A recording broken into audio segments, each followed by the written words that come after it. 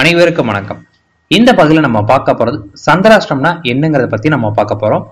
ஆறறிவு இருக்கக்கூடிய ஒரு மனிதனுக்கு நல்ல சிந்தனை திறனும் செயல்படுத்தக்கூடிய திறனும் எதையுமே பகுத்தறிந்து செயல்படக்கூடிய ஆற்றலும் எல்லாமே இருக்கு. சிரிக்க தெரிந்த மிருகமான மனிதனுக்கு மனம் அப்படின்னு ஒண்ணு இருக்கு. அதுல குழப்பம் அப்படின்னு ஒன்று இருக்கு. ஆறறிவு கொண்ட மனிதனுக்கு கடவுள் பாதியாகவும் மிருகம் பாதியாகவும் செயல்படுறான்.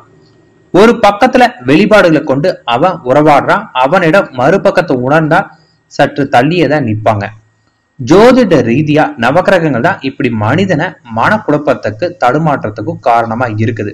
இதுல சந்திரன் தான் மனோகாரகன் சொல்லுவாங்க.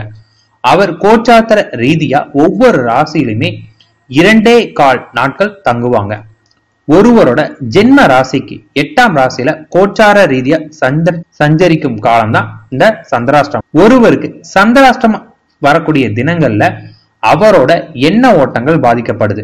இந்த நாட்கள்ல தான் குழப்பமான மனநிலையும் கவன குறைவினால தவறுகளும் செய்யக்கூடிய சூழ்நிலை உருவாகுது. கட்டுக்கடங்காத முறையற்ற எண்ணங்கள் போன்றவையும் உண்டாகுது.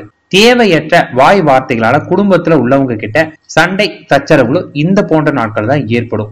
உற்றார் உறவினர்கள் கிட்ட கருத்து வேறுபாடுகள் அதிகரிக்கும். துர்சக்தி மனதை ஆட்டி படைப்பது போல் இருக்கும். அடுத்தவங்க செய்யும் நல்ல செயல்கள் கூட தவறாவே தோன்றும். பெரியவர்களோட பேச்ச உதாசனப்படுத்துவாங்க. தொழில் வியாபாரத்துல மற்றவங்க கிட்ட ஏமாறக்கூடிய நிலை பண விஷயத்துல வாக்குறுதிகளை காப்பாற்ற முடியாத நிலை வாய் சண்டைகளை சில நாட்கள்ல பெரிதாகி கை கிளப்புக்கு வழிவகுக்கும். சந்திராஷ்டமம் இருக்கக்கூடிய தினங்கள்ல எந்த ஒரு புதிய முயற்சிகளையும் மேற்கொள்ளாம இருக்கிறது நல்லது. முக்கிய முடிவுகளையும் எடுக்காம இருக்கிறது நல்லதுதான். கூடுமானவரை தேவையற்ற பயணங்களை தவிர்த்துடுங்க சந்திராஷ்டமம் தினங்கள்ல ஆன்மீக தெய்வீக காரியங்களை ஈடுபாடு படுத்தி மனதை ஒருநிலைப்படுத்தி அந்த நேரத்துல யோகா தியானம் போன்றவை செய்வது சந்திரனுக்குரிய தானியமாக உளுந்தல ஏதாவது தின்பண்டங்கள் செஞ்சு அனைவருக்கும் வழங்குறது நல்ல பலனை கொடுக்கும். நன்றி வணக்கம்.